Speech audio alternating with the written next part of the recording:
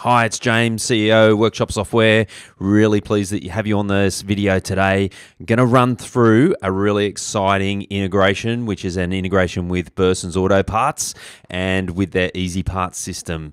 Uh, super simple to set up, super effective. Watch this video right through to the end. You'll get some really great value. Let's check it out.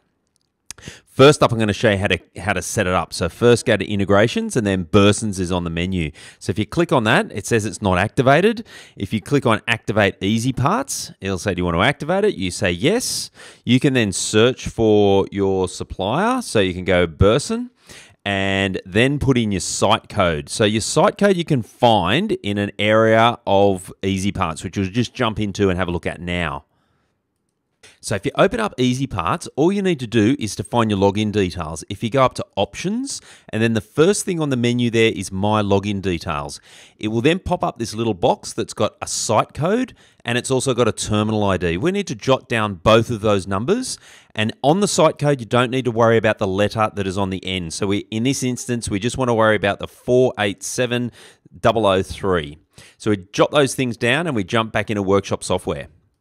So now in Workshop Software, we need to put those details in here. So 487003 and the terminal, obviously put in your details. You go save. Now this is configured with Burson. There is actually one more little step that you need to do. And what you need to do is you need to email Burson's to have them turn on the integration for you.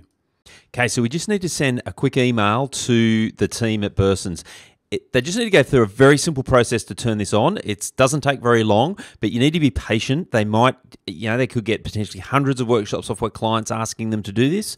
Uh, so give them a few days for it to happen. Usually it'll happen really quickly, but um, just be patient. So send it to easyparts at burson.com.au and you need to just put in your uh, subject line, just say workshop software integration with EzyParts.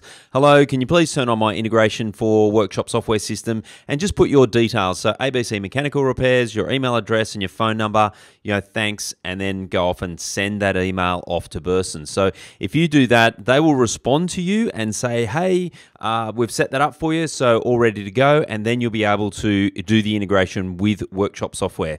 So that's the setup of, of getting Burson's integration done with workshop software.